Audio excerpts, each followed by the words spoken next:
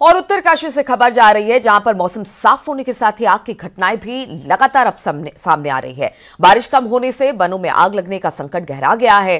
इस बार सर्दियों में लगातार जंगलों में आग विकराल रूप लेती दिखाई दी। अपर यमुना वन प्रभाग के जंगलों में ये आग लगी हुई है। तो लगातार आग की धधक से पूरा जंगल जल रहा है। इस बार अच्छी बारिश नहीं हुई है। मौसम भी सुहाना नहीं रहा है। बर्फबारी भी उस हिसाब से कम हुई है, जिसकी वजह से आग लगने की यह घटना लगातार बढ़ती चली जा रही है।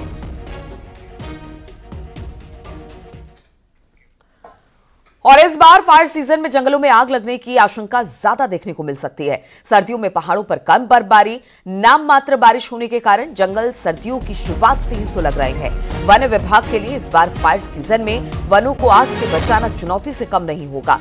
इस फायर सीज़न में जंगलों में आग लगने की आशंका ज़्यादा देखने को मिल सकती है। बागेश्वर में जंगल सर्दियों की शुरुआत से ही सुलग रहे हैं।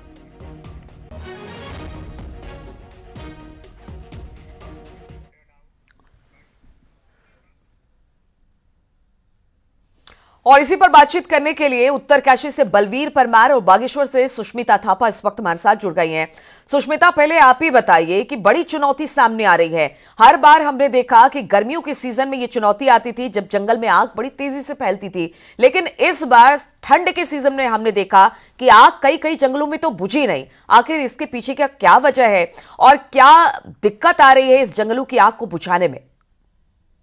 जी देखिए जब सर्दियों की शुरुआत हुई तब से लेकर अब तक लगातार जंगलों में आग जारी है हम्म। और आधिकारिक तौर पर पंद्रह फरवरी से जो फायर सीज़न है वो स्टार्ट होता है तो जिसको लेकर वन विभाग है वो भी तैयार हो गया है और उसमें हम देख रहे हैं कि जो पूरी सर्दियों के सीज़न में थे उसमें जंगलों में आग लगी हुई थी हम्म। उसके बाद अब जब फायर सीज़न शुरू हो गया है तो वन विभाग के लिए एक बड़ी चुनौती सामने आ रही है कि किस हम्म। तरीके से वो इस सीज़न में इस आग से निपटेगी इसके लेकर वन विभाग विभाग ने इसकी तैयारी भी शुरू कर दी गई है। बागेश्वर में छह रेंज है जहाँ पे नब्बे वॉचरों की संख्या बढ़ा दी गई है ताकि 24 घंटे जो ये फायर वॉचर हैं इसमें जो जंगलों की आग लग रही है। उनको हम्म। देख सके और लगातार इसमें लग चुके और लगातार आग लगने के कारण से आसपास हम देख रहे हैं कि घास की जो संकट है ग्रामीण में हम्म। पैदा हो गई है और इसके साथ ही जो आग लगने का कारण है इस बार हम देख रहे हैं कि पूरे उत्तराखंड में ही सबसे कम बारिश इस बार हुई है जिसके हम्म। बाद सूखा जंगलों में पड़ा हुआ है सूखी हम्म। घास है और धीरे धीरे चुनौती और बढ़ने वाली है घास है इसलिए बड़ी तेज़ी के साथ आग जंगलों में फैल रही है बलबीर भी उत्तरकाशी से हमारे साथ है बलबीर अगर अभी ये हालात है तो फिर गर्मी में तो और ज़्यादा दुश्वारियाँ बढ़ जाएँगी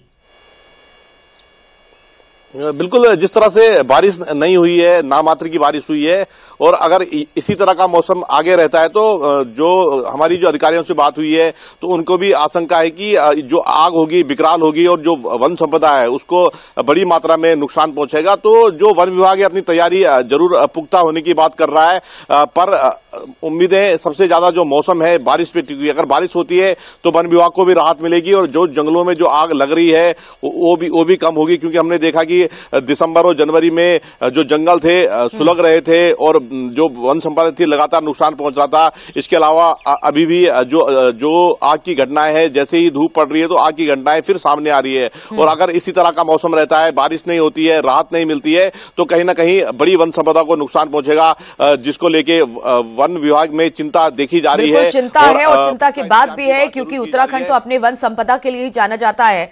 और इस तरह से आग लगने के सिलसिले को अगर रोका नहीं गया तो गर्मी में स्थिति और खराब होगी। बहुत बहुत शुक्रिया आप दोनों का हमारे साथ जुड़ने के लिए।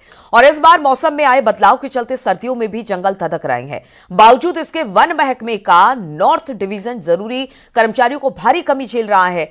आग बुझाने में अहम रोल अदा करने वाले वन दरोगा और वन रक्षक जैसे ज़रूरी पदों पर भी भारी टोटा है। सारा साइड में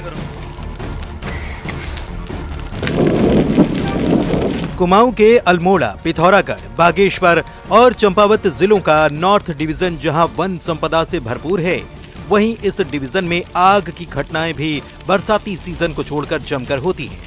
लेकिन हैरानी इस बात की है कि आग पर काबू पाने के ज़रूरी साधन इस डिवीज़न के पास न के बराबर हैं। डिप्टी रेंजर से लेकर वन दारोगा और वन रक्षक की यहाँ सैकड़ों पद खाली हैं। हालात ये है कि इस साल कम बारिश होने से सर्दियों में भी जंगल धधक रहे हैं। प्रजातियों को भी खतरा हो गया है जानवरों को खतरा हो गया हमारी वनस्पति को खतरा हो गया हमारे जितने फ्लोरा फ्यूना है उन सब के अस्तित्व पर खतरा है। लेकिन सरकार को जितना महत्व देना चाहिए था खासकर उत्तराखंड की सरकार को जितना ध्यान देना चाहिए था वो नहीं दिया जा रहा वो दुर्भाग्यपूर्ण है। इस डिवीज़न में वन रक्षक के चार सौ चौहत्तर पद हैं।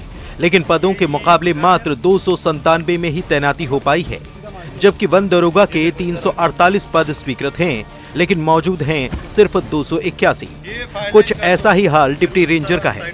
डिप्टी रेंजर के यहाँ 60 पद हैं, जिनमें 21 पद खाली पड़े हैं, जबकि इस बार सिर्फ़ सर्दियों में ही सैकड़ों हेक्टेयर जंगल जलकर खाक हो चुके हैं। विंटर में फायर का इंसिडेंसेस पूरा उत्तराखंड में बढ़ा है। और खासकर थोड़ा सा मध्य और उच्च हिमालय वाला क्षेत्र में बढ़ा है। इसका मुख्य एक कारण यही है कि इस साल जो है विंटर में बिल्कुल बारिश नहीं है। जो पिछले साल बीच बीच में बारिश होता रहा, थोड़ा नमी बना रहा। पहाड़ों में फॉरेस्ट फायर की सबसे अधिक घटनाएँ मई से जून मध्य के बीच होती हैं। ऐसे में तय है कि आने वाले दिनों में जंगल में लगी आग और अधिक धधकने वाली है। लेकिन अहम सवाल ये कि जब विभाग में ज़रूरी लोग ही नहीं हैं तो आग काबू में आखिर कैसे आएगी?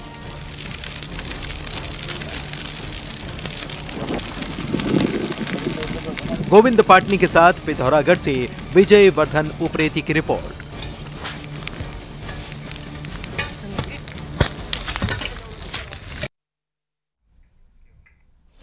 और यहाँ पर रुकेंगे छोटे से ब्रेक के लिए, लेकिन ब्रेक पे जाने से पहले देख लेते हैं पहाड़ टॉप टेन।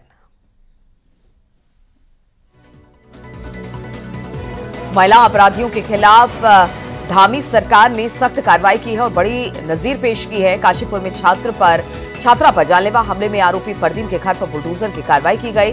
तीन दिन पहले फरदीन ने कोचिंग सेंटर जा रही छात्रा पर धारदार हथियार से हमला कर गंभीर रूप से घायल कर दिया था। पुलिस ने आरोपी और उसके साथी को गिरफ़्तार कर लिया है। रुड़की के बी के यू गुट के बैनर तले सैकड़ों किसानों ने अपनी मांगों को लेकर ज्वाइंट मजिस्ट्रेट कार्यालय के बाहर धरना प्रदर्शन कर ज्ञापन सौंपा। उपनल कर्मचारियों का विभिन्न मांगों को लेकर पिथौरागढ़ में धरना जारी है। कर्मचारियों का आरोप है कि सरकार लंबे समय से उनके साथ सौतेला व्यवहार अपना रही है।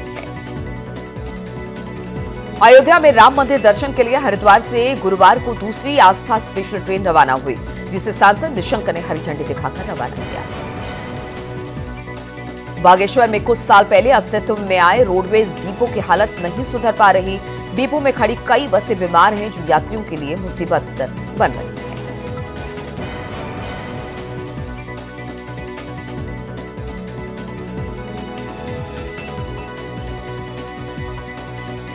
रुद्रप्रयाग में चारधाम यात्रा मार्ग पर एक दर्जन ऐसे स्लाइडिंग जोन हैं। जो यात्री काल के दौरान मुसीबत का सबब बन जाते हैं और हल्की सी बारिश से बोल्डर गिरने लगते हैं। हरिद्वार में पुलिस ने नाबालिग प्रेमिका की हत्या करने वाले युवक को गिरफ़्तार कर लिया। निकाह के लिए दबाव बना रही प्रेमिका से पीछा छुड़ाने के लिए युवक ने गला दबाकर उसकी हत्या कर दी। रुद्रप्रयाग में केदारनाथ यात्रा के कई पड़ावों का निरीक्षण किया। और यात्रा शुरू होने से पहले सभी व्यवस्थाएँ सुनिश्चित करने के निर्देश दिए। अल्मोड़ा ज़िले के दिघाट पुलिस ने 70 किलो गांजे के साथ एक व्यक्ति को गिरफ़्तार कर लिया है। आरोपी गाजियाबाद का रहने वाला है और कार में गांजे की तस्करी किया करता था। कोटद्वार पुलिस ने साढ़े चार लाख के अवैध स्मैक के साथ दो तस्करों को गिरफ़्तार किया, जो बरेली से स्मैक लाकर कोटद्वार के आसपास के युवाओं को बेचा करते रुड़की के पिरान कलियर में दरगाह परिसर में दुकानदार धरने पर बैठ गए। लोगों की मांग दरगाह प्रबंधन को हटाने के साथ नियाज का ठेका निरस्त करने की भी।